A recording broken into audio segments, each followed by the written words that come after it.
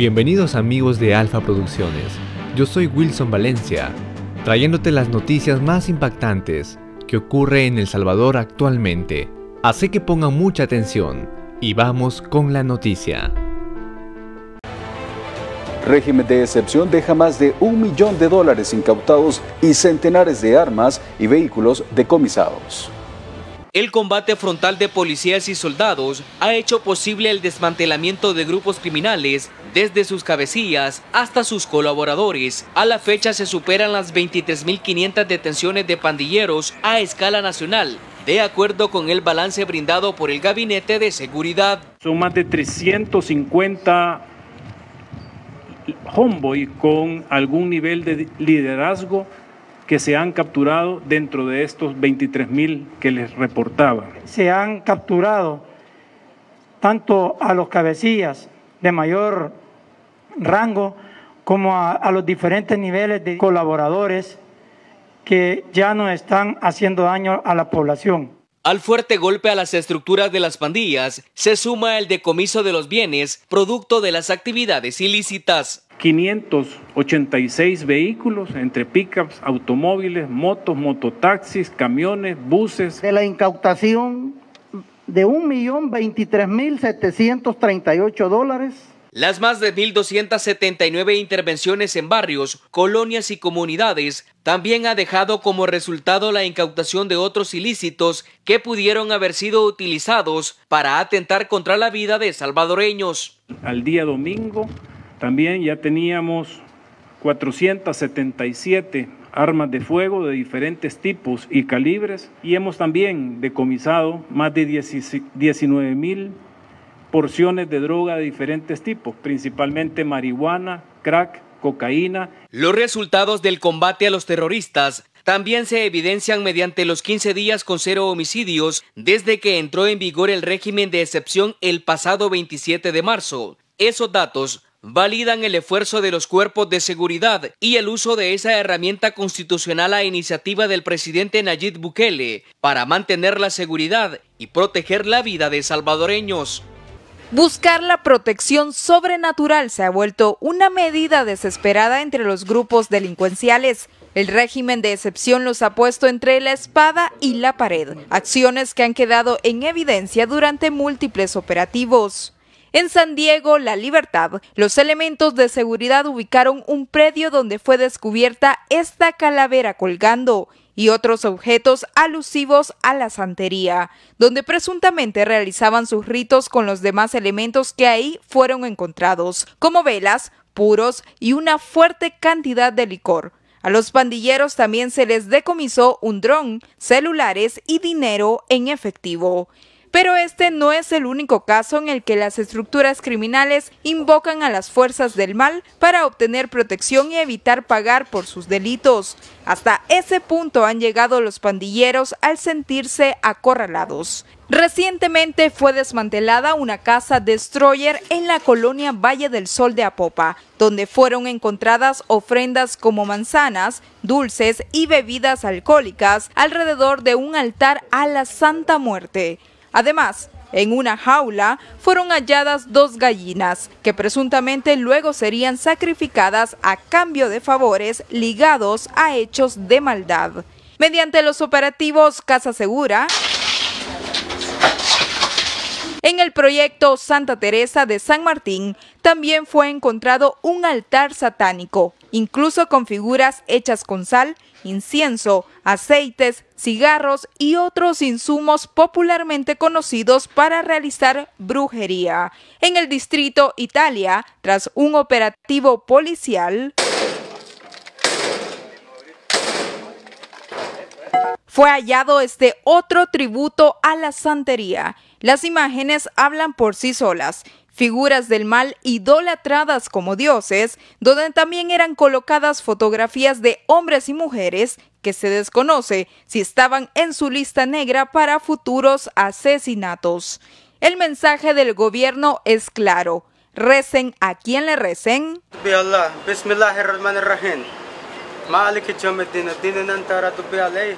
No habrá forma ni siquiera sobrenatural para que sus delitos queden en la impunidad. Así eran llevados hacia la Bartolina de la Policía Nacional Civil 60 miembros activos o colaboradores de las pandillas para ser trasladados posteriormente al penal de Mariona. Se trata de 49 hombres y 11 mujeres que fueron detenidos en las últimas 24 horas en varias colonias de Soyapango, Ilopango y San Martín. Entre los detenidos se encuentran tres autores materiales de varios homicidios conocidos dentro de las estructuras criminales por su rango de gatilleros, es decir, quienes ejecutan las órdenes dictadas por los cabecillas. Tras sus capturas, quedó comprobado que no existe distinción ni privilegios, ya que dos pertenecen a la pandilla 18 y uno a la Mara Salvatrucha, quienes deberán permanecer esposados, juntos y encerrados en la misma celda. Tan solo en el proyecto Santa Teresa de San Martín fueron capturados 15 sujetos, todos acusados de agrupaciones ilícitas y otros delitos como extorsión, privación de libertad, restricción a la libre circulación, entre otros. La Fiscalía General de la República será la encargada de presentar ante los tribunales la evidencia correspondiente que vincula a los detenidos con los delitos antes mencionados, con el objetivo de que sean encarcelados y que reciban la condena acorde al daño que han ocasionado a la sociedad.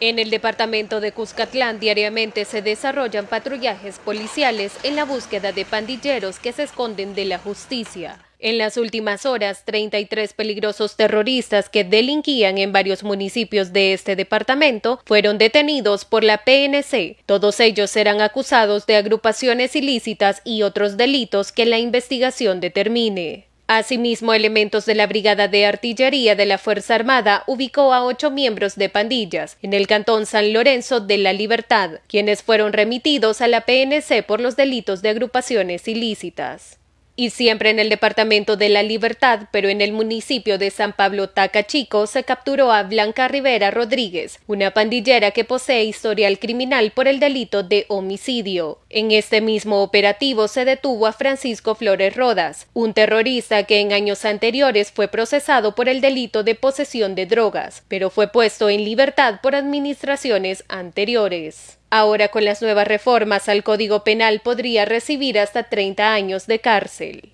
Otra intervención realizada en conjunto con la PNC y efectivos militares del régimen de caballería ubicaron a cuatro miembros de grupos terroristas que se dedicaban a generar zozobra entre la población del cantón El Sonte en Chiltiupán, La Libertad y en la colonia La Pedrera de Quesaltepeque se dio con el paradero de José Steven Escobar Rivera, quien posee antecedentes por homicidio y amenazas. También se capturó a Douglas Ismael Artiga Castro, quien ya cuenta con antecedentes por agrupaciones ilícitas, delito por el que será acusado por segunda ocasión, pero esta vez podría pasar al menos 20 años en la cárcel.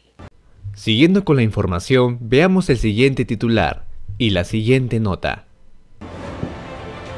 Nuevos actores se suman al prolongado proceso de extinción del partido Arena al conocerse de más renuncias a este instituto político.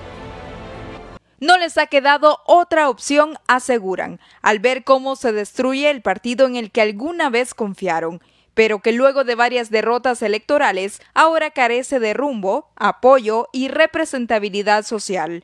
Esas son algunas de las causas por las que el alcalde de San Jorge, departamento de San Miguel, Melvin Antonio Ulloa, decidió dejar a un lado el chaleco rojo, azul y blanco.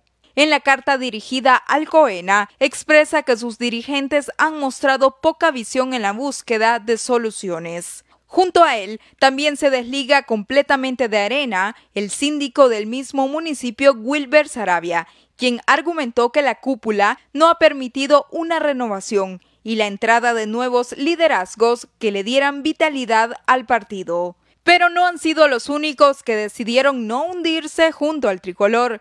Siempre en el oriente del país, presentó su carta de renuncia la concejal de Jocoro Morazán, Gracia María de Mata, quien por escrito dejó claro que ya no puede formar parte de una entidad que antepone los intereses personales y de grupos de poder a las necesidades de la población. Los tres continuarán sus funciones, pero de manera independiente por el momento, según lo informaron. Que es un partido político que no tiene ya absolutamente nada que aportarle a la sociedad salvadoreña. Así de contundente es el analista político Walter Araujo al referirse a la crisis interna que vive Alianza Republicana Nacionalista Arena ante las nuevas renuncias de sus militantes en el oriente del país. Para Araujo, la extinción del partido que gobernó el país por 20 años ya es una realidad que se niegan a aceptar algunos de sus integrantes que aún defienden los intereses de un grupo reducido de la sociedad. Esto ya es imparable, es el, totalmente el desangramiento de un partido político de la cual el pueblo y la gente y sus mismas personas que formaban parte de él están decepcionadas. Y esto esperen, esto sigue. Aquí van a haber diputados, aquí van a haber más. Alcalde ya digo yo porque ya casi ni tiene. Y mientras que se encuentra a la deriva, recientemente se conoció sobre la renuncia del presidente del COENA, Eric Salguero, quien a la vez convocó a elecciones internas para nombrar nuevas autoridades ratas y huyen y se van rápidamente para no tener que enfrentar una realidad política deprimente. Para el analista Walter Araujo, la democracia interna que pregona los cuatro vientos en el partido tricolor queda en duda. Solo una planilla de candidatos compite por los principales cargos de la dirección de ese instituto político. Pensar ya en arena eh, que va a resucitar, que va a salir algo nuevo, ya la gente sabe que eso es imposible. El país está muy claro hacia dónde va y ellos mismos creo que se han dado cuenta. Las renuncias en Arena han ocurrido por el abandono, falta de liderazgo y por no ser un partido de oposición constructivo. Renuncias y más renuncias arrastra Arena desde el gran fracaso electoral el 28 de febrero de 2021. Eso por mencionar el recuento reciente, porque en el recuento histórico, Arena viene derrumbándose desde que perdió las elecciones presidenciales en 2009. A las últimas renuncias anunciadas en el oriente del país se suman 22 de 35 alcaldes que ya habían abandonado el tricolor, además 3 de 14 diputados propietarios y 6 suplentes que también se apartaron de ese partido político. Las razones principales que argumentaron fueron la falta de liderazgo, la falta de propuestas a favor del beneficio del país, corrupción y el abandono a las bases de parte de sus líderes. El partido Arena enfrenta una crisis a nivel nacional, lo que lleva a muchos a concluir que dicho instituto político dejará de existir en un futuro próximo, principalmente por la autodestrucción que se observa a raíz del rechazo de la población salvadoreña. Gracias por aún seguir conectado con nosotros. Siguiendo con la información, veamos el siguiente titular y la siguiente nota. Funcionarios salvadoreños se reúnen con delegados hondureños a fin de establecer alianzas estratégicas para el desarrollo de la cadena logística de la región. El Salvador y Honduras han integrado una mesa de trabajo que busca ejecutar acciones encaminadas a mejorar la economía de ambas naciones. Representantes de los dos gobiernos están comprometidos en la búsqueda de alianzas estratégicas para el desarrollo de la cadena logística en el puerto de la Unión el punto medular de la visita va a ser el canal seco y la reactivación de los puertos y desarrollar alianzas estratégicas en la logística que beneficiarán económicamente tanto a Honduras como a El Salvador.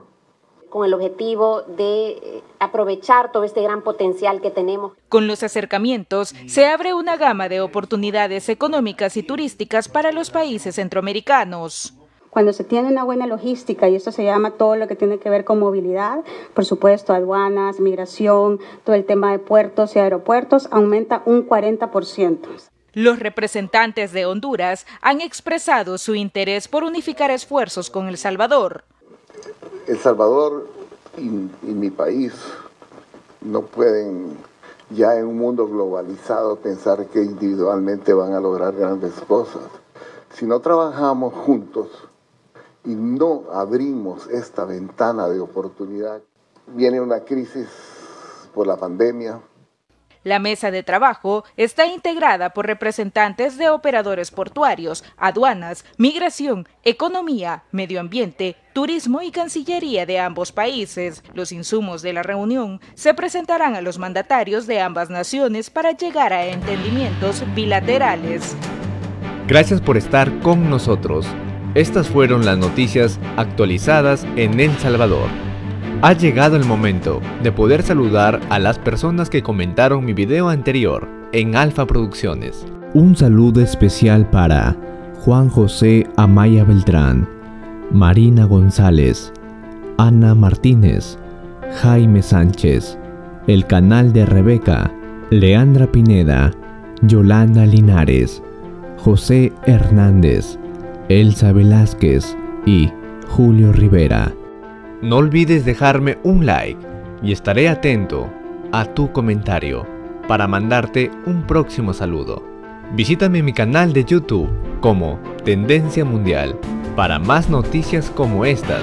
Y si te gustan las historias de vida, de reflexión y de amor, visítame en mi canal Relatos Inolvidables. Yo soy tu amigo Wilson Valencia y nos vemos hasta un próximo video. Espero de todo corazón que puedas suscribirte y mirar el próximo video recomendado de Alfa Producciones. Nos vemos hasta la próxima.